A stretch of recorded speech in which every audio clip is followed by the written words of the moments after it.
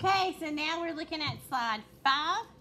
We call him Cuddles, which is really cool because my cat's name at home is Cuddles. So, here we go.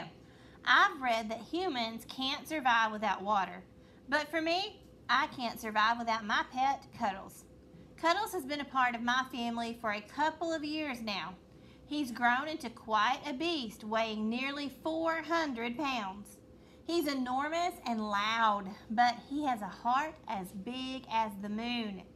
Cuddles may be an unusual pet, but he's the very best pet on the planet. Besides being protective and an excellent hunter, Cuddles is also very handsome. He has a thick golden fur and long hair that surrounds his chest and face. I love his wild, wispy whiskers. They're long and have a black spot at each root. When I take him for his evening walks, his long tail with its black tassel at the end swings side to side. Cuddle's teeth, eyes, and love for my family are huge. You might be wondering how a pet as wonderful as Cuddles came into our lives. Well, two summers ago, my family went on a vacation to sub-Saharan Africa. The highlight of the trip was going on a safari and riding in an open-air Jeep. My mom had warned me about bringing snacks on the safari because she thought they would attract the animals, but I snuck a few granola bars in my backpack just in case I got hungry during the expedition. Well, I guess my mom was right because those granola bars must have smelled mighty delicious. Without even knowing it, a tiny cub climbed right into my pack while we were photographing zebras and giraffes. We headed to the airport right after the safari, so I didn't discover Cuddles until we got home. And when I pulled him out of my backpack, he was a golden fluff ball. His fur felt so soft as feathers, and I fell in love with him in the instant I looked into his big brown eyes. And by the twitch of his long whiskers, I could tell that he was falling for me too. Cuddles became a part of our family instantly. At first, I made a cozy bed for him in my bedroom, but it wasn't long before he grew to be nearly 30 inches tall. So we got to work on making a habitat for him in the backyard. His outside habitat includes heated rocks to remind him of the warm African savanna, a stream and waterfall, and even a cave. We, we practice his tricks outside, and recently he mastered the skill of jumping through a flaming hula hoop. But my mom isn't a fan of that trick. He also plays a mean game of hide and go seek he uses his stalking skills to move quietly to each hiding spot. And one time he hid in my brother's bed. When my brother discovered Cuddles, I'm pretty sure that just like Cuddles' deep, knee-quaking roar, you could hear my brother scream for miles. Okay, go to slide six and we'll finish it up. We go for walks in the evening when Cuddles is most active.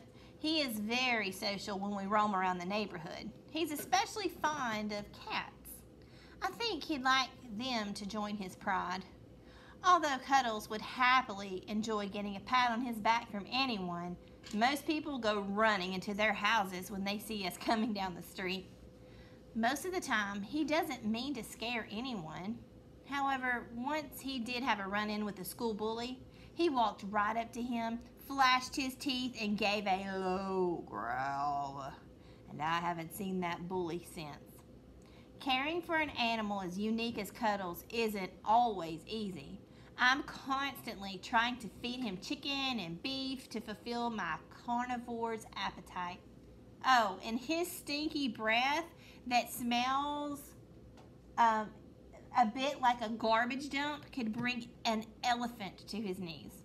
But despite the fact that he's unusual and he causes terror to course through the, our neighbor's veins, he's my pet, and he is the very best pet there is.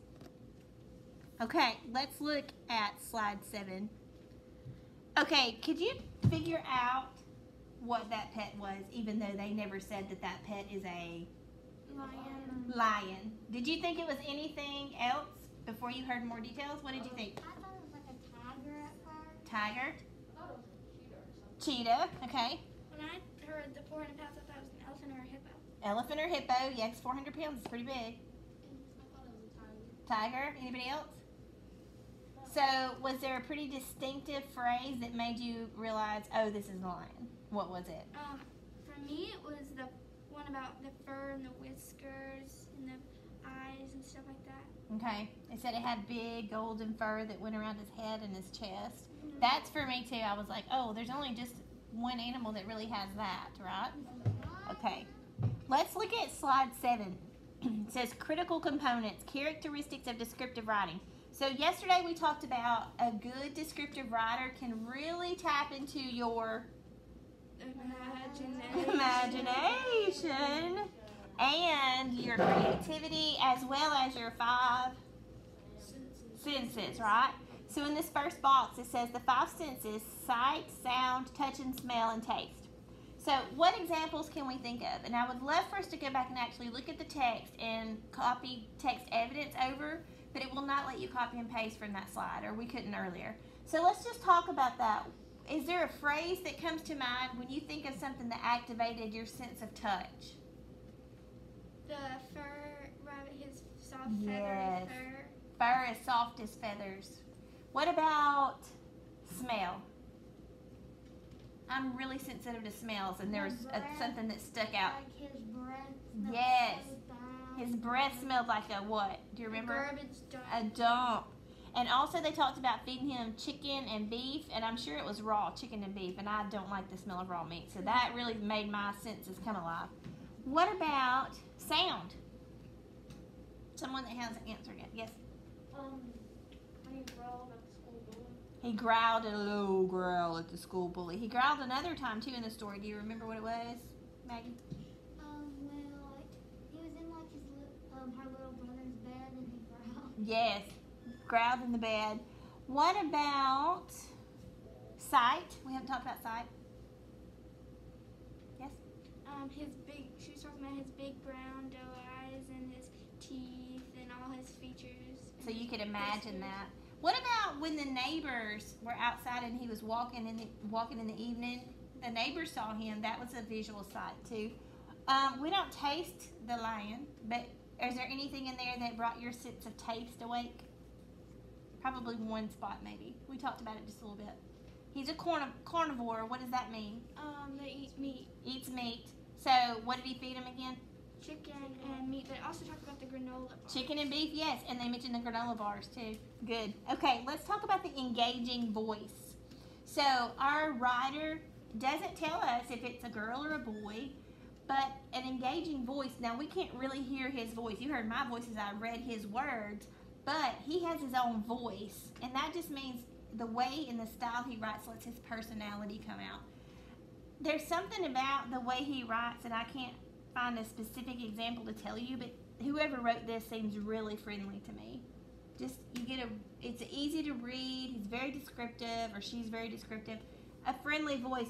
What about um what's anything else that might have stood out to you? The way he phrased things or maybe could you kind of decipher maybe an age that this person might have been? Um, from how he did, or the person didn't really listen to their mom when they said don't bring snacks and granola bars and stuff like that made me think they were younger. Yeah, true. And sometimes older people don't carry snacks anyway, so he might have been younger. What do you think? I thought you, you was that what you were gonna say too? I was gonna say around the age of um maybe um Nine to ten. Is that what you think? And we don't have any proof of that, but he gives us a feel about his personality. Is there anything else about the personality that stands out to you, or the style he writes in? He uses a lot of figurative language in there, and that's one of the things we're going to talk about in a second. So let's look at vivid, lively details. What does vivid mean?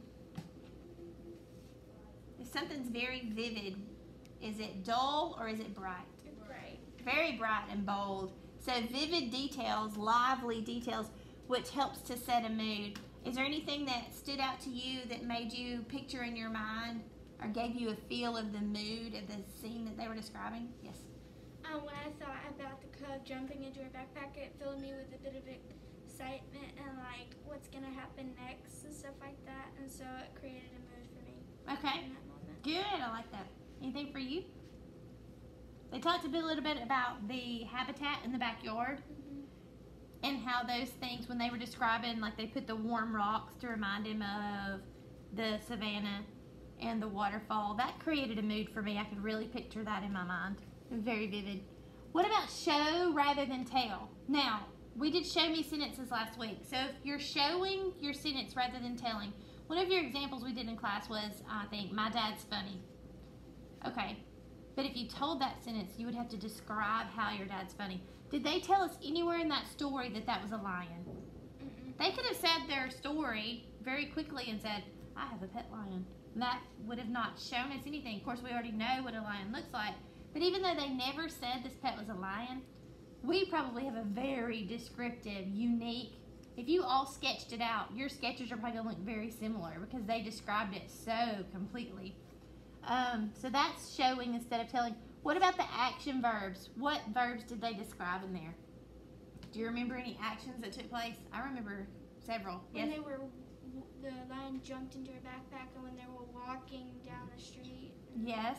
And the open air Jeep, I can see him just bouncing down the dirt road and dust flying everywhere. What about when brother got in his bed? Mm. I imagine he jumped out of that bed. Screaming Or when they took him for walks. And the bully, what might the bully have done when he growled at him? uh, ran away like a little girl. He probably had actions, yes. Okay, figurative language, hyperbole, simile, metaphor, personification. Would you like to describe what any of those things are? Anybody know what a hyperbole is? You do know. You just probably don't remember that you know. Uh, So hyperbole is when you have a really big exaggeration. right. He talked about his heart being as big as the moon. Because his heart be really be as big as the moon. Not Mhm. quite. That's an exaggeration. What about a simile? Did you see any similes or metaphors? Personification is when you give a non-human thing. human Human characteristics, right? Okay. So that is slide seven. Thank you.